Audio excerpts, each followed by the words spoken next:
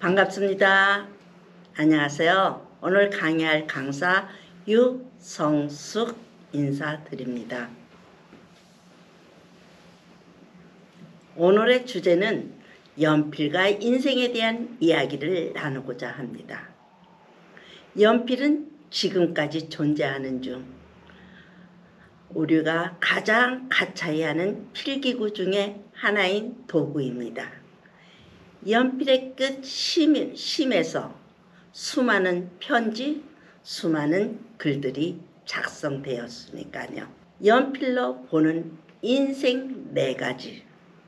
연필에는 심이 있고, 연필에는 지우개가 있고, 연필로 흔적을 남깁니다. 그리고 연필은 주인공이 있어야 합니다. 태어나 1년이 되면 돌잔치를 하죠. 돌잔치에는 돌잡이가 빠지면 안 되겠죠.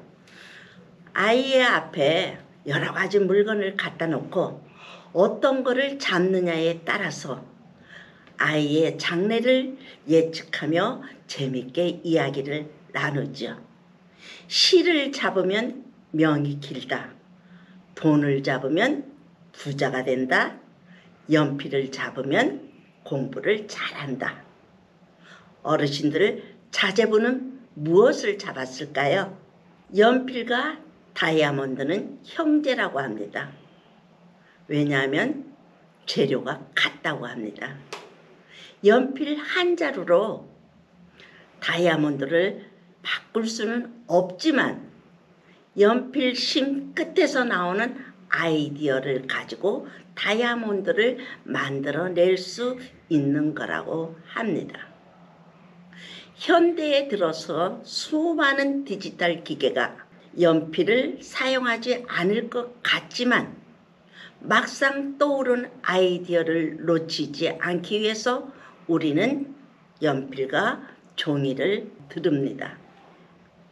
연필을 들고 천천히 한 잔씩 쓰다 보면 생각을 확인하면서 부족한 것은 채우고 틀린 것은 지우개로 지우기 때문입니다. 연필은 건나무가 아닌 심이 중요합니다. 보여주는 모습이 아닌 보여주는 환경이 아닌 내 안에 있는 믿음과 신뢰를 중요하다고 합니다. 겉에 보여주는 모습이 아닌 속에 있는 믿음과 신뢰가 중요하다고 합니다. 우리가 연필을 샀을 때 심이 좋을 거라고 믿고 사지 심이 나쁠 거라고 생각지는 않지 않습니까? 시중에 비싼 연필도 많지만 몇백 원의 적은 돈으로 살 수 있는 연필들이 우리가 생각하는 것 이상의 가치를 만들어내기도 합니다. 연필은 흔적을 남기게 됩니다. 연필에는 지우개가 달려 있습니다. 우리는 지우고 싶은 우리의 실수가 있고 버리고 싶은 과거가 있습니다. 다 지우고 새로운 인생을 만듭시다. 연필의 짝꿍은 지우개입니다. 실수로부터 배워라. 실수를 부끄러워하지 말아라 이것입니다. 쓰다 틀면 지우고 다시 쓸 기회를 주는 지우개. 우리에게도 지울 기회가 옵니다. 마치 지우개처럼요.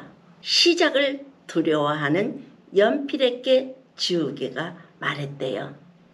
걱정 마 친구. 내가 있잖아. 우리는 누구도 완벽하지 않습니다. 세 번째, 연필이 지나간 자리에 흔적을 남깁니다. 지저분한 낙서, 좋은 글, 좋은 시, 좋은 향기를 남길 수 있습니다. 우리 인생도 마찬가지입니다. 우리의 삶에 좋은 향기를 남겨야겠습니다. 연필은 써나가며 자신의 흔적을 남깁니다. 어디 가든 무엇을 말하든 자취를 남기죠. 나의 인생을 내가 원하는 방향, 꿈꾸는 방향으로 가야 합니다. 연필을 깎는 기분도 좋지만 연필이 짧아지는 것은 더 기분이 좋다고 합니다. 왜냐하면 많이 쓴 흔적을 보는 것 같아서라고 합니다. 네 번째, 연필은 혼자 움직일 수 없습니다. 연필은 주인에 따라 쓰임, 운명이 달라집니다.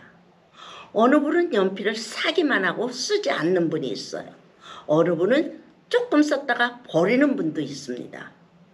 그러나 어느 분은 끝까지 썼다가도 짧아진 것을 볼펜을 끼워서 끝까지 쓰는 분도 있습니다. 이렇게 연필은 주인에 따라 쓰임새가 다르다고 합니다. 연필의 입장에서 깎아내리면 고통이 있겠죠. 고통은 필수적입니다. 왜냐하면 연필을 쓰기 위해서 존재하니까요. 인생도 마찬가지입니다. 여기에 한 소년이 있습니다. 이 소년의 집은 농업 경작을 대대로 업으로 삼고 살았습니다.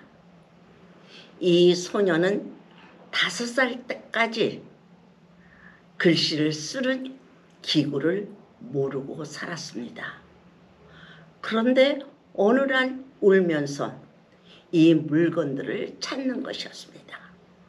이것을 이상히 여기고 아버지가 이웃에 가서 그것들을 얻어서 빌려서 갖다 주었더니 소녀는 즉시 네 구절의 시를 써내려 갔습니다.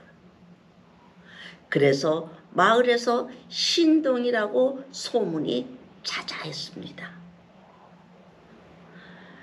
그날로부터 사람들이 찾아와 시를 지어 달라고 청하는 일이 많아지자 그의 아버지는 그날로 아들의 학업을 중단하고 아들을 데리고 돈을 벌 수 있겠다는 생각에 소녀는 아버지의 손에 이끌려 이곳 저곳을 다니면서 시를 지어주고 돈을 벌었습니다. 소녀는 어린 나이에 자유로운 생활이 싫지 않았습니다. 그렇게 점점 공부를 소홀히 하여 배우면서 멀어진 소녀는 10대가 될 무렵에 원래 지니고 있던 재능마저 잃고 평범한 사람이 되었습니다. 그가 얻은 천부적인 자질은 그렇게 탁월했지만 정상적인 후천적 교육을 받지 않았기 때문에 더 평범한 사람이 되었다고 합니다. 그는 방중영이라고 합니다. 배움을 향하는 열정은 스스로의 노력이요. 배움을 통해 얻은 지식은 큰 힘이 되는 것입니다. 내 인생의 방관자가 되지 말고 참여자로 삶을 이끌어가는 주인공이 됩시다. 믿음은 심이요. 신내는 지우개요. 향기는 흔적이요. 멋진 인생은 연필의 주인공입니다. 믿음과 신뢰로 새로운 인생을 위해 향기를 나는 멋진 인생을 만들어 봅시다. 화이팅! 감사합니다. 고맙습니다. 사랑합니다.